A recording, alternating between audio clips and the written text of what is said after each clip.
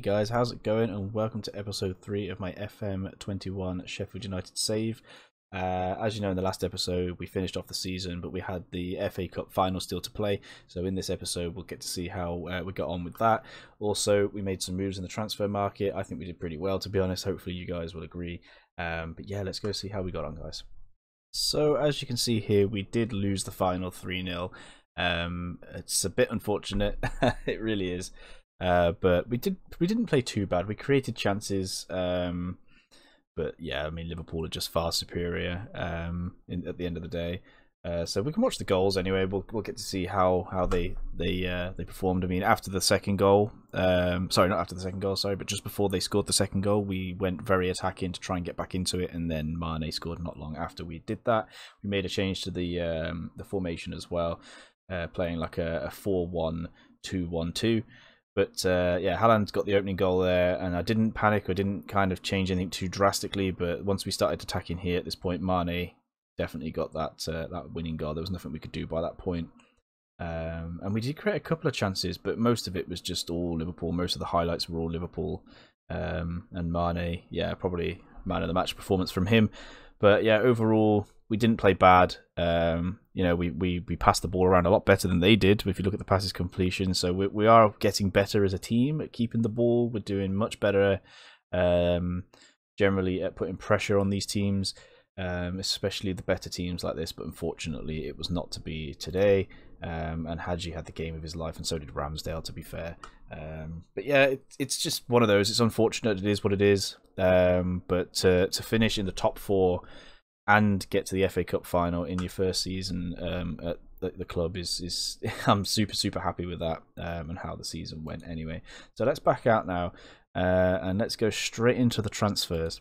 Now, this has been absolutely crazy, absolutely crazy. So if we go to the transfer history over here, go to this season. So as you know, all the transfers that we made um, last season um, we know them already. However, we made Conor Coady a permanent deal, so he was on loan. We made him a permanent deal for 11.75 million. I thought he had a fairly good season with us. He's a good player, um, and it was too good to pass up. So this season, we got in some absolute gems. Um, so the most we've actually spent is uh, on this guy here, 24 mil for Diogo Queirós from Crystal Palace. Um, I actually think he's a really good centre back. Looking forward to seeing how he performs um, going forward. Uh, then we got Charlie McGann on a free. Uh, not you know necessarily the best centre midfielder you've ever seen in your life, but far from the worst. A young player, if it doesn't work out, which it probably won't. Um, just judging by the fact that his mentals probably won't get strong enough it's profit at the end of the day. I'm looking at it as a thing where I can get a nice young player in, and then I can kind of you know um, sell him on for you know big bucks hopefully. Um, Collins absolutely fantastic, 19 year old, amazing looking right back, super fast. Um, can play uh, uh, centre back as well. So quite excited to see how he develops and how he performs um, going forward. Uh, and again on a free. Uh, and then we get in Marcel Lewis, uh, again on a free, um, already net rated nearly a million. Uh, young lad can play uh, left wing. He's a backup for that side. Um, so really, really happy with that signing. Um, again, if it doesn't work out, it's one of those players that we will sell. 21 year old goalkeeper can't pronounce his name. Not even going to attempt it. Decent goalkeeper, to be fair. If um, you know we need to again doesn't work out, we can sell him as well. So it's just making that little bit of money out of these players should it should it not work out. Uh, that's two uh, two youth goalkeepers we bought now in two seasons. Marcus Edwards, you know, I forgot to mention it last time. Brilliant, brilliant signing. Super, super excited to see how he performs for us. Um, yeah, I'm looking forward to that massively. Uh, we got Arezzo or sorry, from Juventus uh, for, on loan. Again, young lad. I'm hoping he performs pretty well with me. Uh, I'm going to play him next to Brewster, I think. Uh, those two will probably start.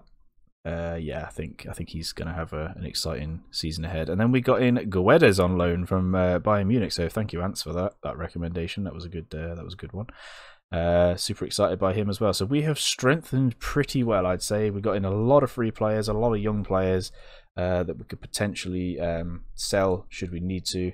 Um, we haven't really got rid of anybody, only Chamber and a few people on loan, and a couple of people went out the door for free. Um, however, we did try to get um, one or two out.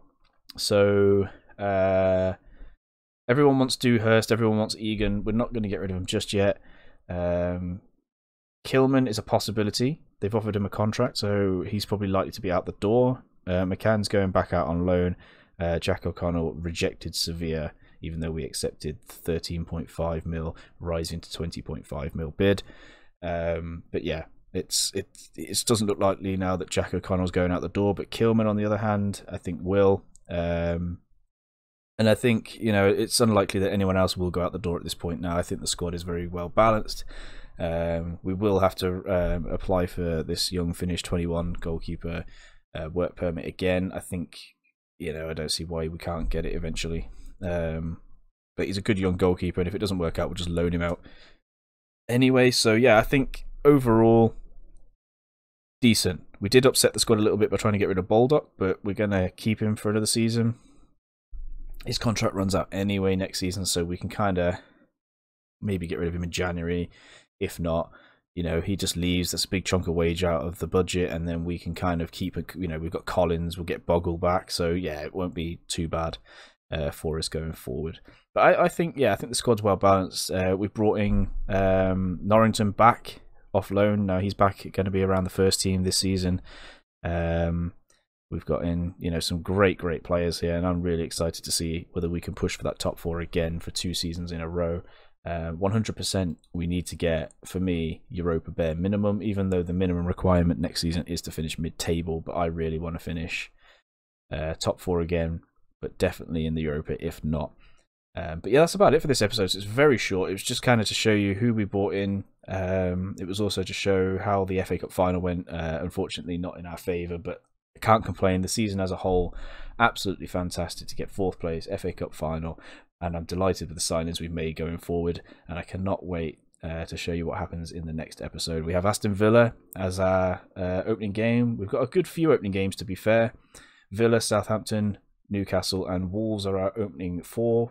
Uh, sorry, Man United five. So yeah, not a bad start at all. This this this side this time round. Sorry. Um, yeah, super excited to see where we can go. So, but yeah, that's it for this episode, guys. If you liked it, please hit the thumbs up, um, subscribe, hit the bell so you know when I'm uh, posting videos, guys. It will mean so much to me. Uh, please, if you want to see this live, all the details from my Twitch are below. Check it out, and on to the next episode, guys. Stay safe, and I'll catch you all later. Okay, guys, so um, now we move on to Evolving Mindset. Uh, free organization, absolutely amazing people. They really, really are. Uh, and as you can see at the top there, um, Evolving Mindset offer free online advice sessions from qualified mental health nurses. Uh, they also offer mindfulness, stress, anxiety management, uh, mental health awareness, and are also available should anyone need any support. Um, I wholeheartedly recommend them. They're so so good, um, and and if you need the help, um, you know, as as they say, it's it's it's okay to not be okay, and and it's so true. It really is. And if you are struggling out there, especially in this climate, please please get in touch with Evolving Mindset. I really recommend them. Uh, shout out to Limo, uh, one of their mental health nurses and directors. He uh, is a streamer on Twitch. His details will be below. Um, if you feel like you want to just connect with a, a Twitch streamer um, rather than contact the organization itself, uh, please feel free to do that. Limo will 100% support you through anything. Amazing bloke, top streamer, um, and like I say, he will really help you out a lot.